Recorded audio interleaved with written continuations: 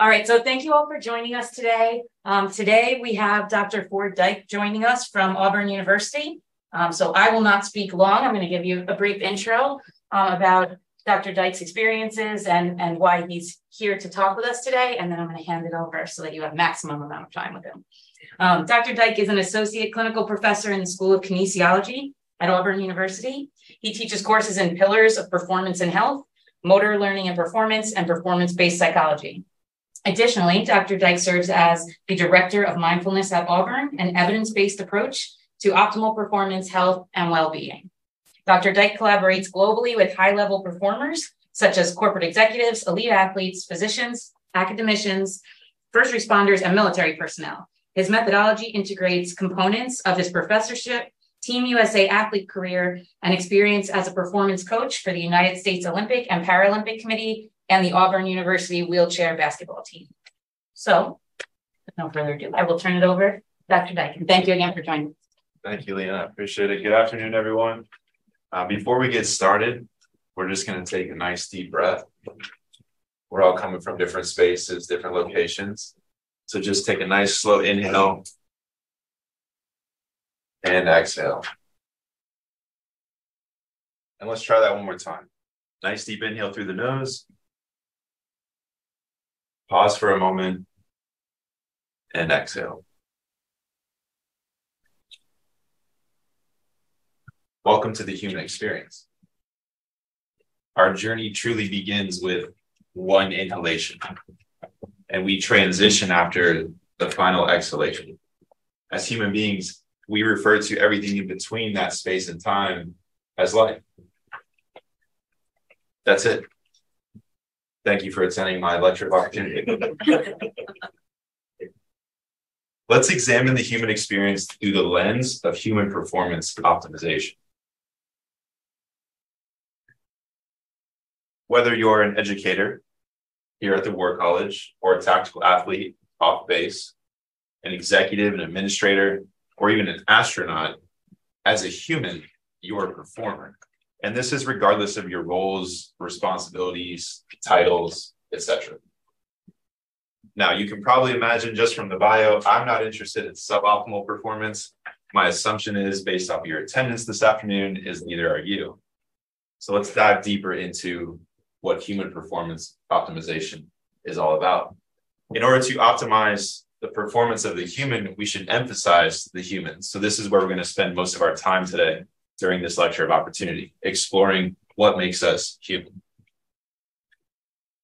We all have three things in common brain, lungs, heart.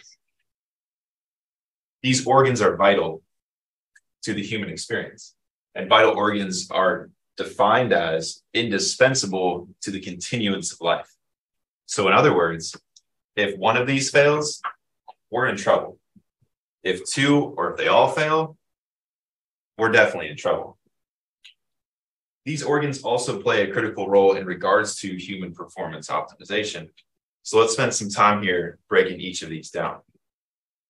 For contextual purposes, go ahead and take your left hand and make it into a fist, and take your right hand and make it to this exact same fist, and put those two fists together, and just have a look at the space your hands take up, the three dimensional representation of your brain and of your brain and of your brain and of my brain. Now, don't get too worried if you have small hands. You might be thinking, oh, mm-hmm. and gentlemen, don't get too excited if your hands are large. It doesn't mean that we're on some sort of genius. It's a representation of this relatively small organ in our body, 2% of our entire anatomical mass, but very powerful in nature. Take one of your hands and open it up into a flat shape and place it over your forehead. And just take a look at the physical space that your hand covers. It's quite large. This is covering the frontal cortex, the prefrontal cortex specifically, or the neocortex, the newest region of the brain in human evolution. This region implicates a sizable portion of our entire cortex itself and it's responsible for higher order cognition, such as executive functioning related to planning, problem solving, making judgments, contemplation, self regulation, etc. So, this area of the brain is really what separates us, highlighted here in red, from other mammalian counterparts on planet Earth. It's truly what makes us human. And this is where our mind resides. And our mind is our brain in action. As humans, we pretty much function by way of a differential nervous system. And just a few examples here hot, cold, happy, sad, hunger, satiation, energy, fatigue, focus, distraction, the list goes on. And fundamentally, we operate within our mind. But oftentimes, I'm sure you all can relate to this, our mind runs around on an untamed horse, jumping from thought to thought, idea to idea, memory to memory. You kind of get the picture.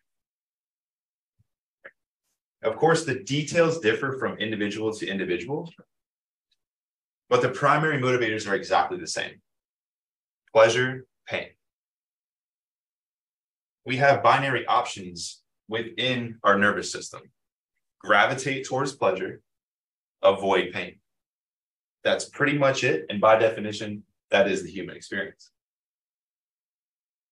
A binary option also exists within human performance optimization, which can be directly observed through our respiration cycles inhalation, exhalation, just like how we started at the outset zero and one. These two processes cannot occur at the exact same time. It's anatomically impossible and it's physiologically impossible. You cannot inhale and exhale at the exact same time. As humans, we can self monitor our respiration cycles. So, for example, we can become aware of our lungs breathing. Go ahead and take a hand, open hand, place it on your abdomen, wherever you're sitting or wherever, whatever position you're in. Just place that hand on your abdomen and notice the general functions of your lungs right now. Your belly starts to move out on the inhale, your belly starts to come forward towards your spine on the exhale. You can close your eyes and really tune into this, noticing your abdomen moving as you're processing your inhalation and exhalation. But we can also self regulate our respiration cycles. So, with your hand on that abdomen and your eyes closed, go ahead and take a nice slow inhale through your nose, expand your diaphragm, fill up your lungs. Pause for just a moment at the top and slowly exhale through your mouth. And try that just two or three more times in through the nose, expanding the diaphragm, filling up the lungs, pausing for a moment, and slowly exhaling through the mouth.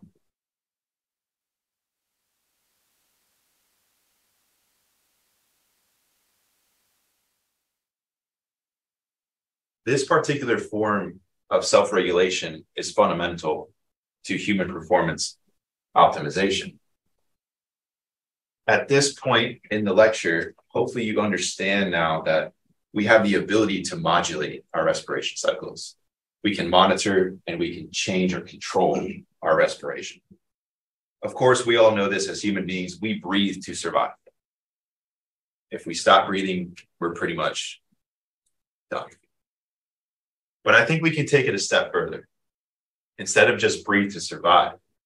And that's where we're going to spend some time here unpacking what I refer to as the ABCs of human. So, first, we need to deconstruct this word and bring our attention to the central idea that is awareness, breath, concentration.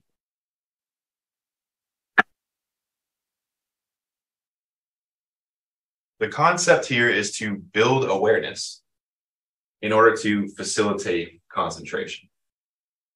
We place awareness on one side, concentration on the other. As well as inhalation and exhalation. As we've established those binary options that exist within the respiration cycles themselves. As we inhale purposefully through our nose, expanding our diaphragm, we build awareness concentration drops off. As we exhale, we facilitate concentration awareness drops off. Binary options within our respiration cycles, and therefore the allocation of our neural resources based on that frontal cortex, the prefrontal cortex So, Build awareness on the inhalation, facilitate concentration on the exhalation. But how do we build awareness outside of our respiration cycles? This is where we insert mindfulness. Awareness, concentration, and self regulation are the fruits of establishing a consistent emphasis on consistent mindfulness practice. So before we dive any deeper, I want to give you 90 seconds and your partner, your neighbor, 90 seconds. We'll have three minutes here to discuss amongst each other what is your definition of mindfulness?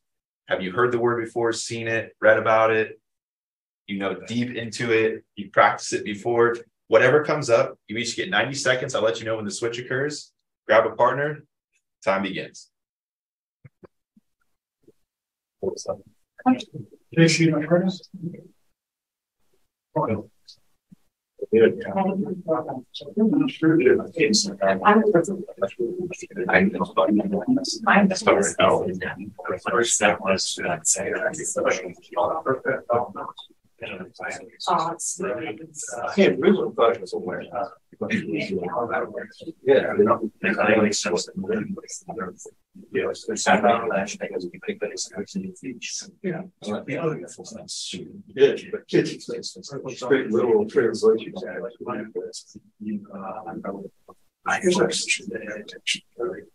that's for people's awareness. And that's what being aware is looking at right now. But hope it's in the engineering, storing science. Yeah. So far, that's not the first because I. We're doing a lot of well, I see the boys on the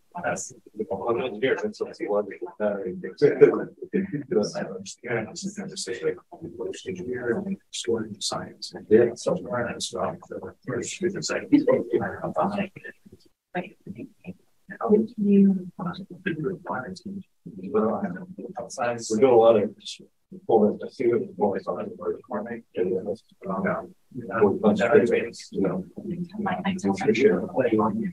that you would see. So I'm wondering if it's the other side. Uh, those are supposed to be. Maybe you are. Uh,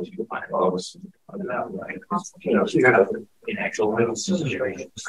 Yeah. Why is so nice? It's just an necessary studies involved with something like a student being terms of the questions.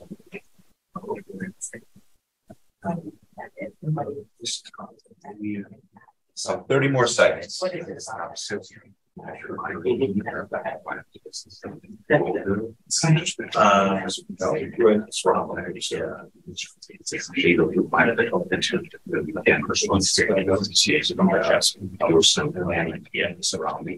Uh, the reaction that you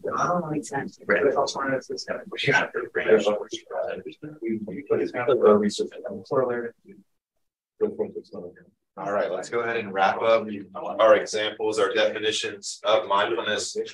You will have the next couple minutes to share what you came up with. So if anybody would like to share with the group today, your definition, your perspective, what comes to mind when you hear or see or even potentially practice this construct. Yeah, good. Enunciating in English. so I'm I'm happy to share uh, someone else's really good ideas.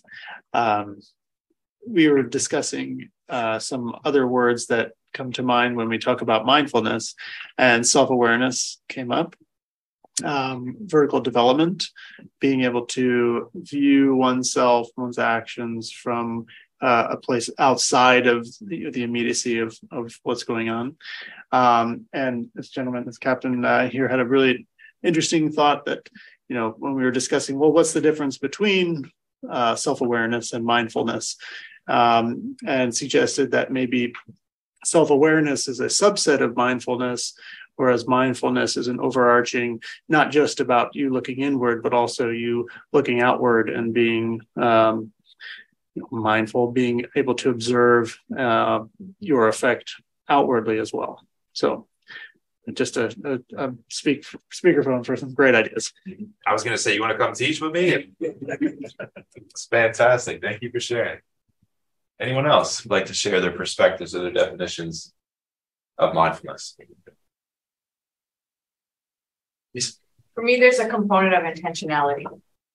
And I think that, oh, sorry. Um, for me, I would say for me, there's a component of intentionality and that deliberate choice of the disposition that you're going to take in order to engage in the observation of self and surrounding. I love it. Lisa, I'd offer you a teaching position up here as well if you want to join. Thank you for sharing. Anyone else would like to share? Scott?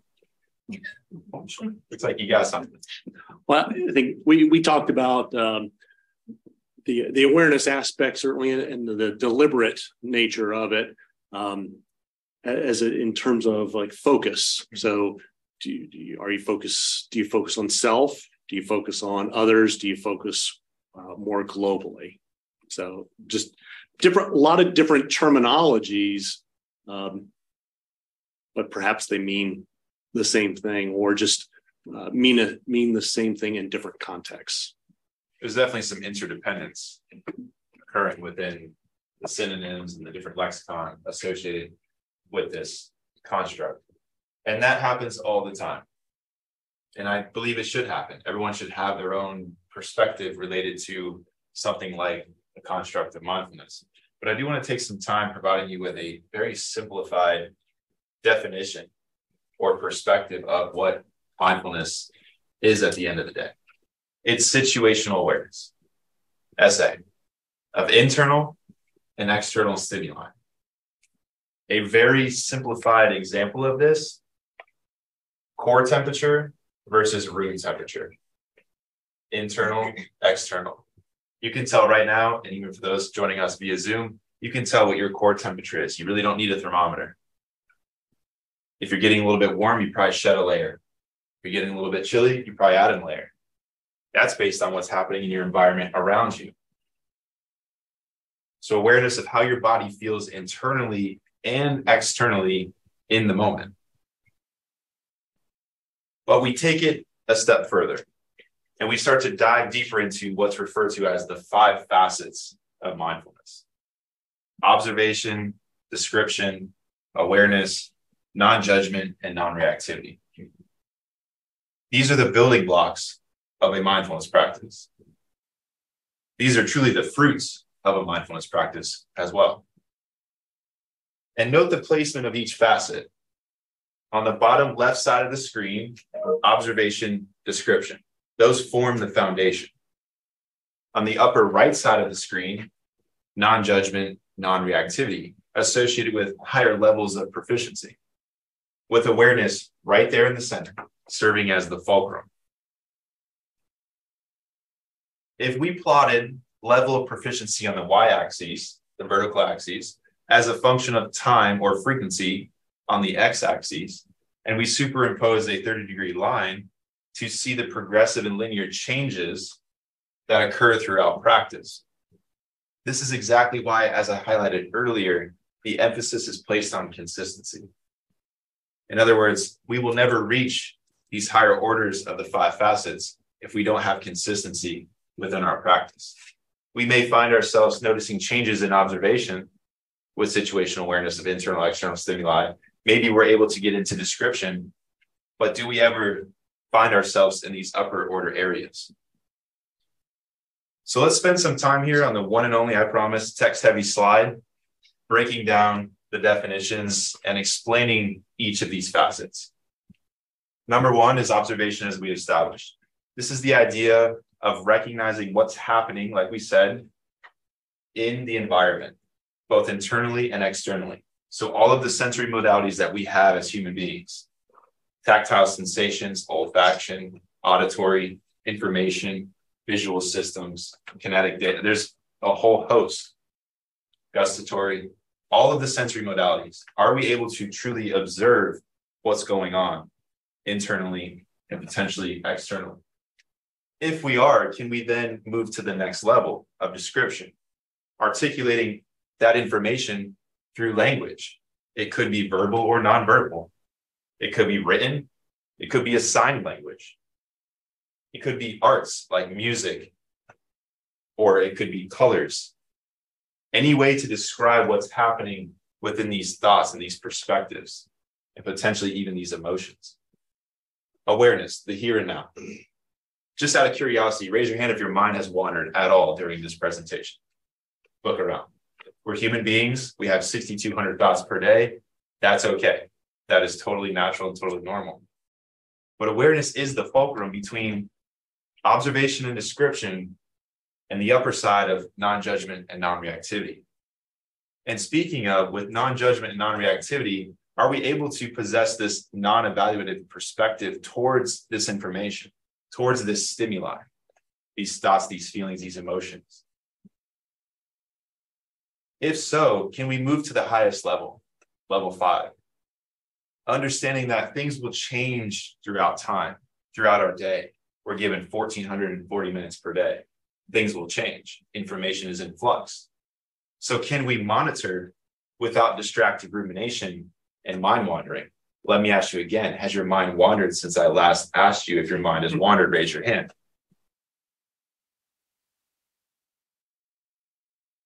In summary, trait mindful individuals possess all five of these. Trait is innate. That's what we're born with, essentially. And state is all about the practice of mindfulness. So let me paint a scenario for you. Let's say this morning you came in and you received an email from a colleague or a student, or potentially the second floor of the office, is what I've learned is the higher levels. And you open this email, and before you even know it, you're already smashing the reply button because you're ready to do something that you probably shouldn't be doing.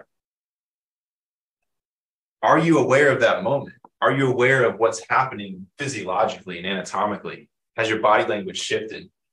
Are you starting to perspirate? Are your eyes dilated? You're going into full flight or fight mode. It's just an email. Stated otherwise, can you observe? Can you step back? Can you describe and articulate what's happening within that moment in time? Are you staying in the moment? Are you lost in thought based on something that happened yesterday or something that hasn't even happened yet, may happen two years from now? Can you practice non judgment and non reactivity to that moment? The moral of the story is these can be calibrated with practice. Trait is innate, but remember, state is developed and calibrated with practice. So the main takeaway is that all of these facets are interdependent and can be calibrated by way of consistent, daily, intentional practice. Brain, lungs, heart, all vital to the human experience and play a critical role in regards to human performance optimization. Go ahead and take that same right hand and place it over your heart space. And this time, definitely close your eyes and tune in to what's happening anatomically and physiologically. Notice the general sensations of your heart rate, your heart beating up against your chest walls, that muscle in action. Now, with your eyes closed, bring your focus to your respiration cycles. Without changing anything just yet, just simply noticing where your respiration is.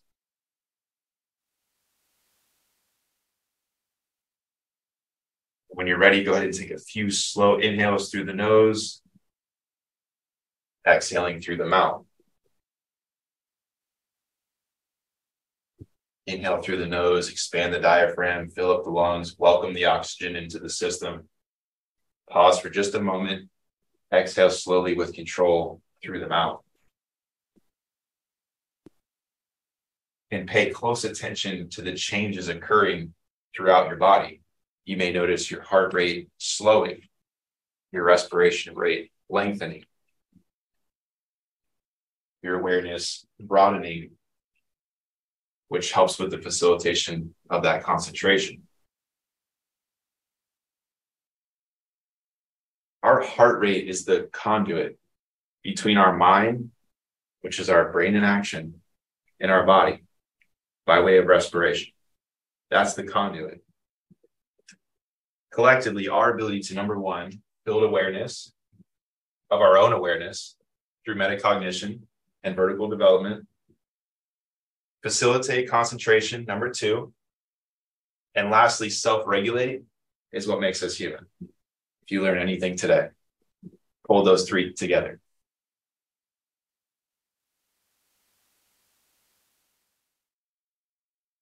To provide some perspective, let's consider the human lifespan around 100 years, give or take, from zero to 100. Or 10 decades.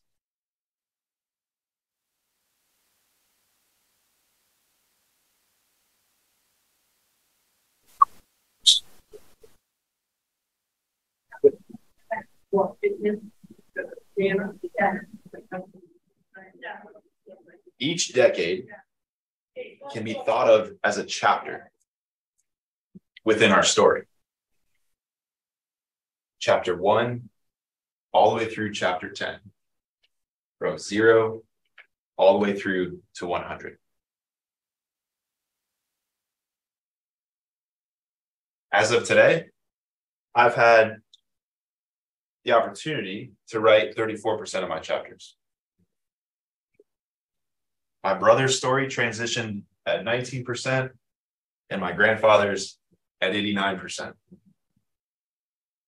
Take a moment this afternoon to pinpoint exactly where your personal story is on this continuum, as well as the past, present, and future stories of your six degrees of separation.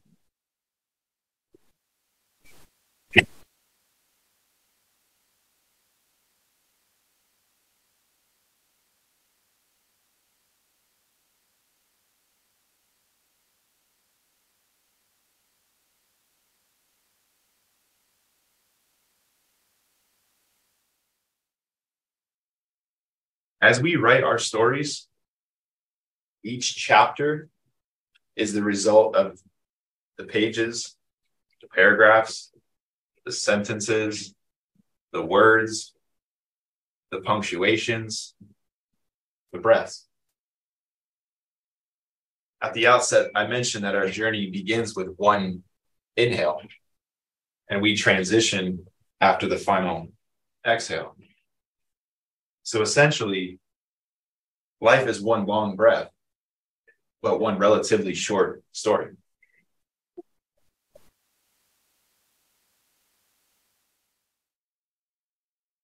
Our stories are written chapter by chapter, moment by moment, breath by breath. And we're not here very long. So every single breath counts. Let's take a moment to reconnect with our own personal stories. So do me a favor, and push back from your table. You won't need anything for this exercise. Get nice and comfortable in your chair. Allow your feet to settle into the floor in front of you. And you want to sit in a position that has some good posture, but you're also comfortable. So if you're sitting so tall that you feel stiff and upright, that's not necessarily what we're looking for. We want you to be relaxed and comfortable and make sure your ears are over your shoulders and your shoulders are over your hips and your knees are over your ankles. So you're in a good balanced position where you feel stabilized. You can allow your gaze to fall softly on the floor in front of you, or you can close your eyes, whichever feels more comfortable to you.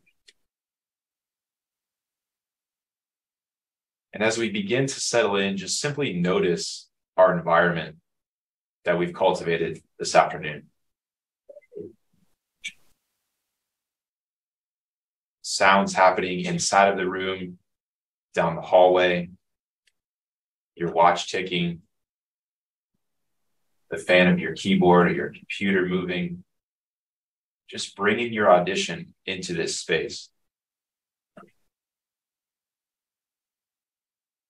Potentially what the room smells like, your olfaction. Maybe detecting some sensations in your mouth earlier from breakfast or lunch. Or the toothpaste you utilized after your brunch. We're just observing what's going on internally and externally. Start to bring your awareness down into your body, into your personal space, and taking a moment here to notice how you feel physically. You notice any tension or discomfort, any tightness. Without changing anything, just simply noticing what you're experiencing. Um,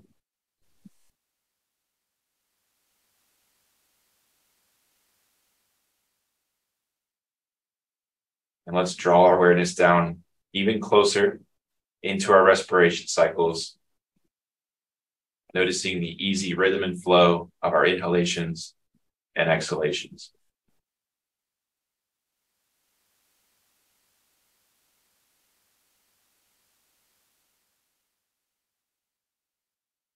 Let's take a nice slow inhale through our nose, expand our diaphragms and fill up our lungs.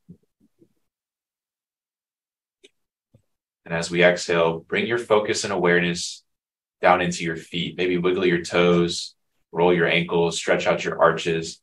Let your feet settle into the floor even further.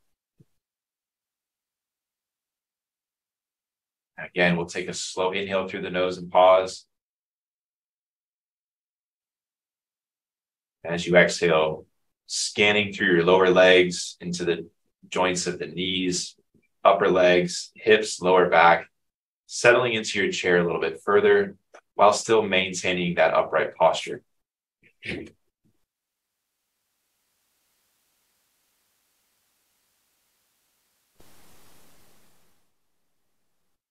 Another slow inhale through the nose, filling up the lungs and pausing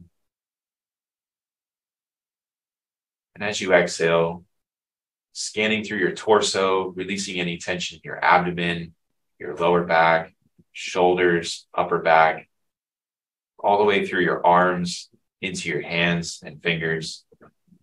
And once again, allowing yourself to settle into your chair even further.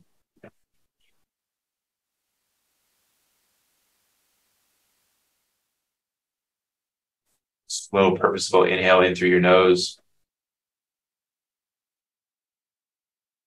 and exhale, scanning through the muscles of your neck, in your jaw, around your eyes and forehead, releasing any tension, softening your affect, allowing yourself to drop into this moment.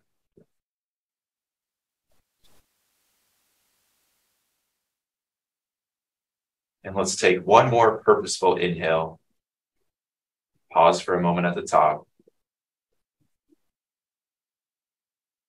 And as you exhale, visualize this wave of relaxation just flowing from the crown of your head in through your body and out through the soles of your feet.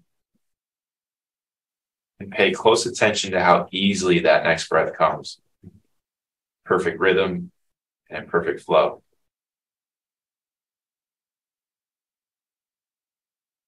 As we rest here for a moment, if your mind begins to wander, or you get distracted by your to do list or sound in the environment, just gently observe and bring your focus and concentration back to your respiration.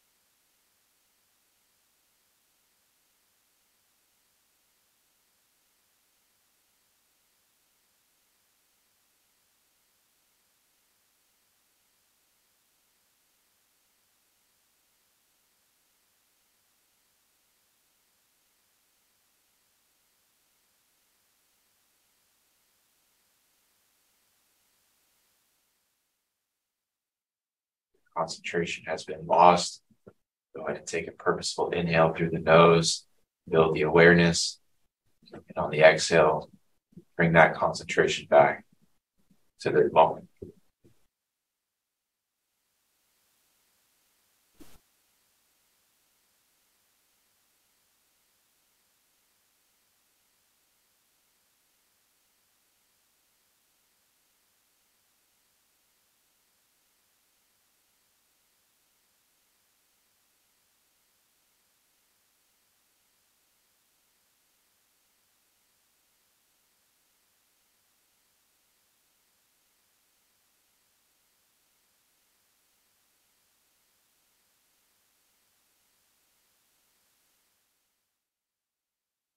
Quietly building coherence between our mind and body. Begin to visualize where you're from, your origin.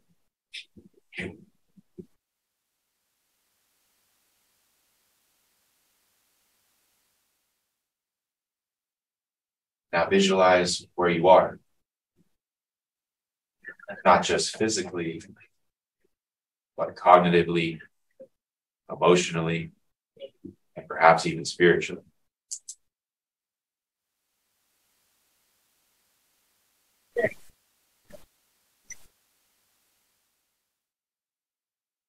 Lastly, visualize where you want to go.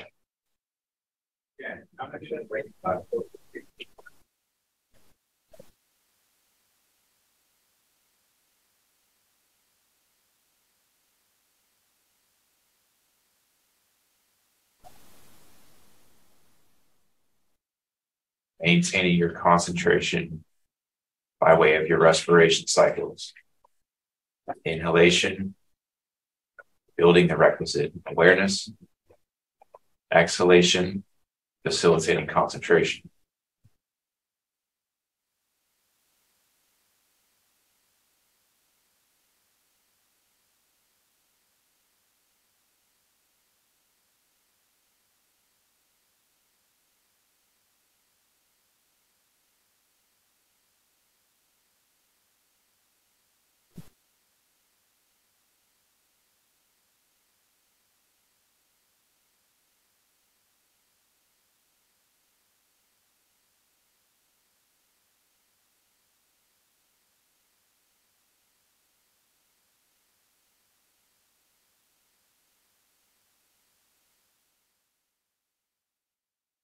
Let's take one more slow inhale through our nose, expand the diaphragm and fill up the lungs. And As you exhale, begin to welcome some movement back into the body, wiggling your fingers and toes, rolling your wrists and ankles. When you're ready, you can open your eyes.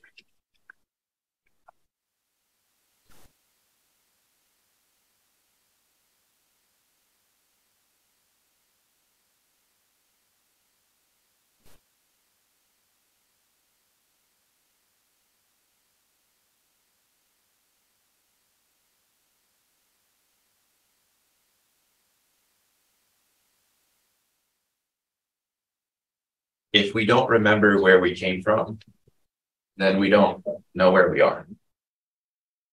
If we don't know where we are, then we don't know where we're going.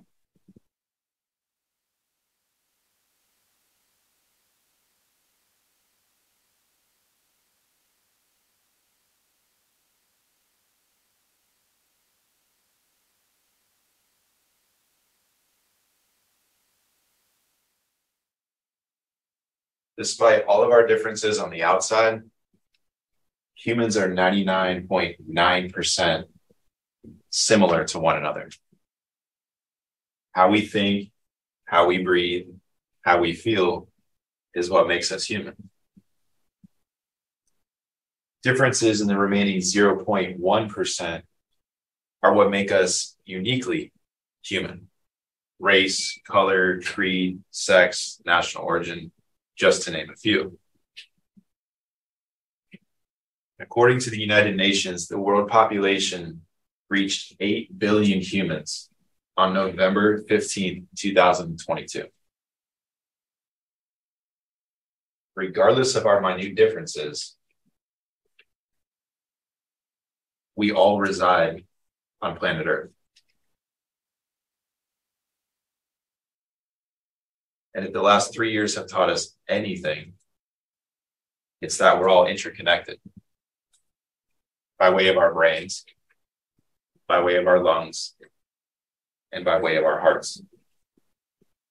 We think, we breathe, we feel.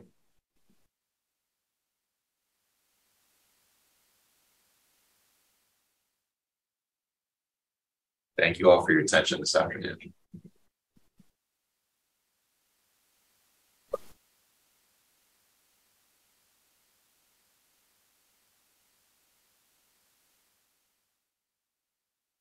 Yeah, we may have a Zoom problem. I think we may have lost connection with our starship. Oh, yes. So in Zoom land, they cannot, they're not seeing your slides anymore, Okay. but they're still seeing you. They're still seeing me. Yes. Okay. And Dean Klein says they are still there. Okay, So, perfect. Thank good. you, Dean. Happy to open it up for questions, dialogue, any points of interest or inquiry. We have plenty of time this afternoon. I wanted to facilitate some thought provoking information for you all within what makes us human. And then ideally open it up for any sort of dialogue that you may have in relationship to this content. So thank you all again for your attention and happy to answer any questions.